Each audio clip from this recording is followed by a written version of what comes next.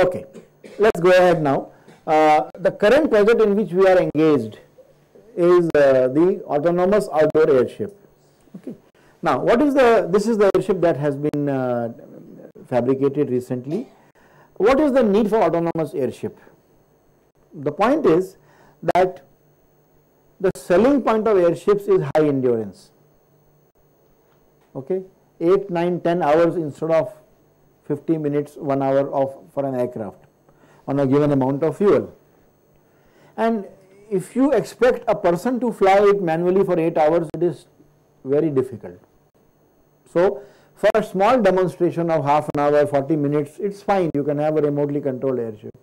But for any scientific or commercial work over long durations of time, it will be difficult to expect it to be done manually. So, it has to be autonomous. Secondly, if you have a system which is autonomous, then it can also be configured in, in many cases, not always, but in many cases, it can be configured to maintain its position by sensing the disturbances and creating forces just enough to overcome the disturbances. This is called as hovering. Okay. It can be done by aircraft with the thrust vectoring like the Harrier and also by helicopters. Airships can also do it because airships do not need forward motion to overcome the weight. So, if you have autonomous system, it becomes easier for a human being to make something hover, to make an airship hover will require a lot of work continuously. And uh, the third thing is you are now independent of line of sight or of the ground stations because normally you need to have a line of sight between the remote and the airship. But if it is autonomous, it can do on its own. Okay. So, we were looking at, our, our task was to look at what is the efficacy of these and also what are the limitations. More importantly, what are the operational capabilities and limitations for autonomous airships. So, the task to be done was first of all Although by this time we have developed several RC airships or remotely controlled airships, we had not got the time to sit down and write a formal methodology, just like I did it for the bigger airships in 2003. So recently a paper has appeared uh, in which this methodology has been properly documented along with the data. I told you it's a part of a dual degree project of uh, one of uh, our uh, recent dual degree students. Another activity that we have attempted is to, to create the 6DoF model, dynamic model of the airship. This model should be suitable for controller design and computer simulation. So this is currently work in progress. We have not made much progress in this so far, but we are working on it. And I am looking for people to join hands with me to take this activity further. We have also studied various strategies that are reported in literature for uh, autonomous control uh, and try to implement the best one on the airship. This activity is currently work in progress. Uh, in the laboratory, our students are investigating various strategies for the airship. Without the without the aerodynamic model, also you can create controllers based on certain logics. So that is what they are attempting. These were the specified requirements for the airship uh, the most important one here is the wind speeds 10 to 15 meters per second and uh, endurance of uh, 30 minutes. Okay. And uh, I will show you some pictures of our uh, progress so far. So, the first thing is the gondola or the item that carries all the equipment, the onboard camera, the engines, the controllers. It has to be fairly robust and sturdy plus easily accessible. So, one student who came for internship designed this particular gondola. So, you see the design and the actual fabricated system and I will show you a video of uh, testing of the thrust vectoring system of this gondola. So, we wanted to have thrust vectoring capability. So, we have one main motor which can be swiveled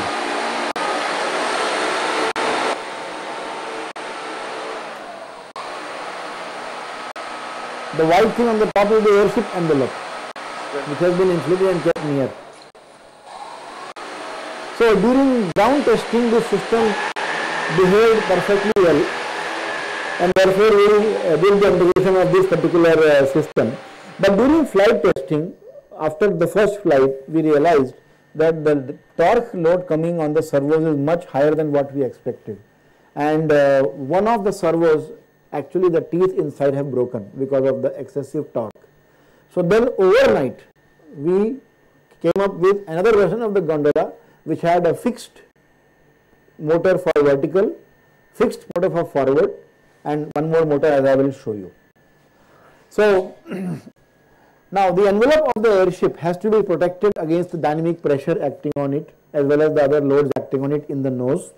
Plus we need to attach it to the mast. So there has to be some, you cannot attach a solid metallic mast to the soft envelope. There has to be some interfacing between them. This is done through what is called as a nose battens. About this, uh, we will have a special lecture on the design of nose battens. Right now just to inform you that there is some kind of a structure to be put in the front of the airship. Then although this airship is outdoor, it might be able to, it might be required to operate in some conditions uh, where the ambient winds are very less. And especially when you want to make it fly autonomous, you cannot depend on wind loads for giving you the required yaw or, uh, or uh, turning performance. So what we decided is to put a dedicated yaw motor. That means we will fit one motor on the side in the fin and when commanded it will give direct side force which will augment the aerodynamic load because of the fin. So let me show you the testing of this motor in the laboratory. So you can see that uh, the vertical fin member has been attached to the envelope so we, we go for a, a, double attachment, we go for a velcro between the between the envelope between the envelope and the fin here on the on the bottom and then we have these uh, cable and hook system to hold it in place. With this it becomes fairly sturdy and it is able to take uh, the loads. So this airship has flown with uh, this kind of a system working very well.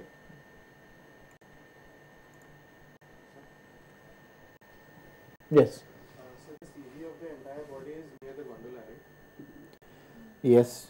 So in, in that case, uh, it seems that the yaw motor is at a very high level. So doesn't it create problems actually when you're flying? It does. See, uh, the side force is acting with a kind of a moment arm. So it does give, but uh, the airships have extremely good roll stability because it is a heavy mass which is slung under a almost zero weight body. So they have what is called as pendulum stability. So any motion which takes it this way will automatically be uh, brought down because of gravity, because of the pendulum effect. So the coupling between the modes can be uh, considered to be weak.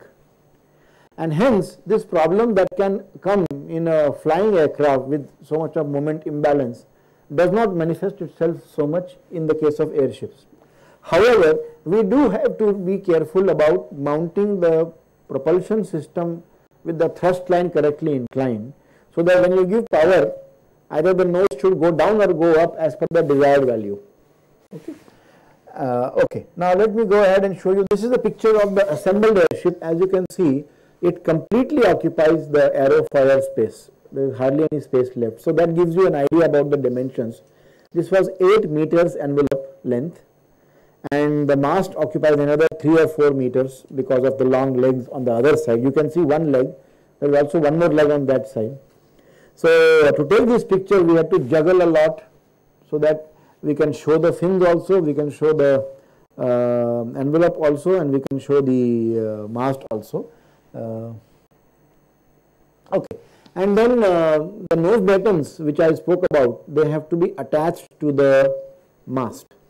So this is a picture showing Vishal one of our uh, project engineers attaching the attaching the mast of the airship to uh, the nose.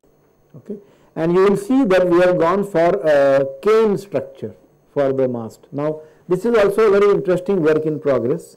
The structural design of the masts is very important. You need strength but you also need low weight and you need uh, some mechanism by which we can attach it rigidly to the mast. So in this case what we have done is uh, we hired an, a specialist um, mechanic from IDC who has expertise in making things out of cane. As you might know there is something called as a bamboo studio in IDC where there is a lot of research going on on bamboo and cane as a material. Now they are not propagating that as a material for structural applications like this but we found that this cane is a very good candidate for the uh, nose battens. The only problem is it has to be painstakingly made by hand. As you can see uh, each of these gondola, each of these nose battens to give flexibility they have been hand wound with cane strips on cane rods. So it takes some time to make but structurally it is very very rigid and very lightweight. So the message is that you have to keep your eyes and ears open to find solutions to your problems wherever you can get them. Then the time when many of you are giving your end-SEM examinations in 2013, that is the time when Gymkhana ground is relatively free and available for testing etc. because many students do not come to the Gymkhana ground during, during the end-SEM and the mid-SEM timings. So we occupy Gymkhana ground usually during mid-SEMs and end-SEMs. So during this end-SEM period, the last two days actually available to us, we were in the Gymkhana ground attempting to test this airship. So here is a small video that shows the outdoor remotely controlled airship flight of this airship. So these are some of our uh, team members on the ground. They are there because uh, near the ground we have to tether the airship and we have to hold it. Now this particular rope that you see is eventually taken off. You do not fly with this long rope. You normally fly free. What you are seeing as a rope is essentially a 6 or 8 foot long piece which is used to handle the airship on the ground. So it is only a handling rope. You know the one that is hanging here you can see. That is the one you are seeing. Okay. The other rope is not going to be left uh, very soon. You can see there are winds coming from one side in a very uh, rapid fashion. Uh, there is an onboard camera which was mounted on this and I will show you a much better video from the onboard camera. Uh, this is just a, a small clip. I will show you a better clip. This shows the airship which is uh, at a height of approximately I think around 80 meters length from uh, 80 meters above the ground from where we were. Uh, we actually covered almost half the Powai lake remember we cannot go outside the campus because there is traffic and if you are very ambitious and go more there is the Mumbai airport and then we will have a very sorry spectacle of a 747 coming and hitting a small balloon from IIT Bombay. So therefore we have to be very careful about the winds and about uh, controlling. So we just went up to half the Powai lake and we were circling over it and then we brought it down to land. So this particular airship was a platform to mount our autonomous control system which is still being developed. So, uh, we have not yet, uh, now let us see uh, what the onboard camera saw. Now, this is a video.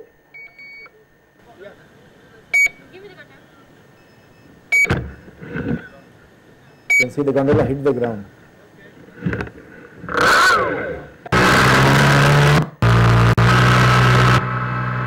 Now you can see your campus by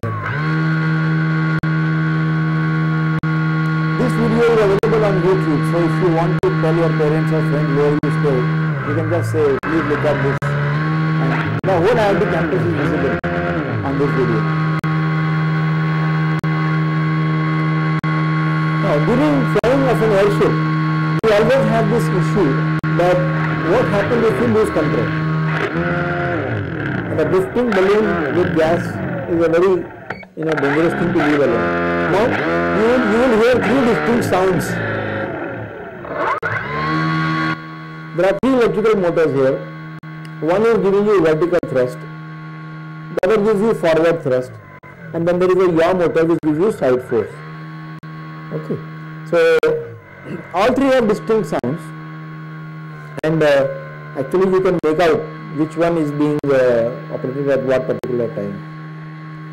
Surprisingly, it's coming slow.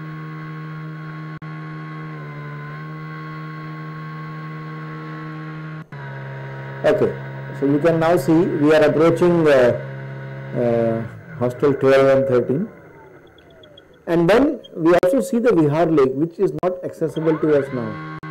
Okay. So we wanted to actually fly over Vihar lake but we were not uh, sure if we have the permission to go beyond the pipeline. Now we have a campus across the pipeline. So therefore subsequent flights of this airship we might like to explore the Vihar lake area also. As I was saying, one constant worry that you have is what if you lose control? So one of our project engineers has designed a system using two Zigbees which talk to each other.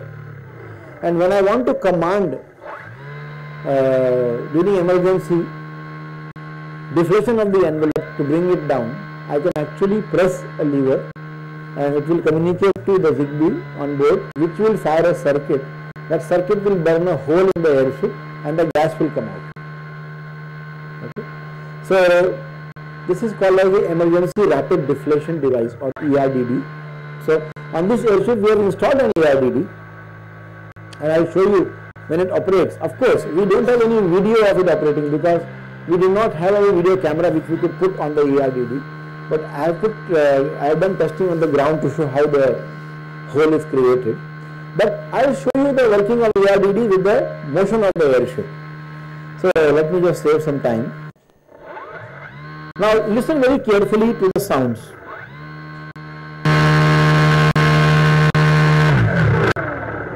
So the motor is off. You will hear a beeping sound of a device.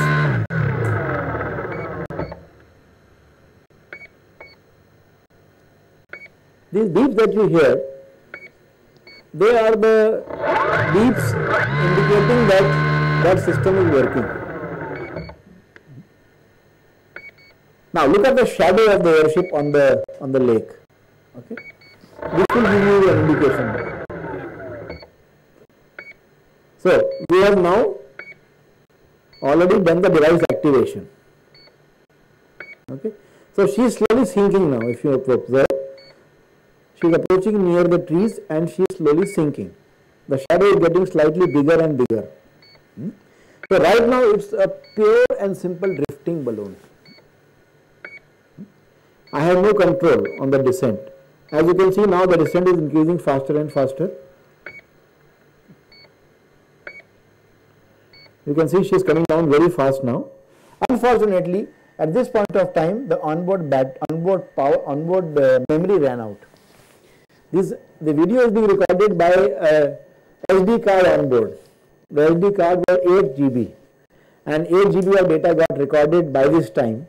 So when it was required the most, when I wanted to see the airship hitting the floor, the SD card was not. Now the problem is we had no idea where the airship is. We were in Gymkhana ground.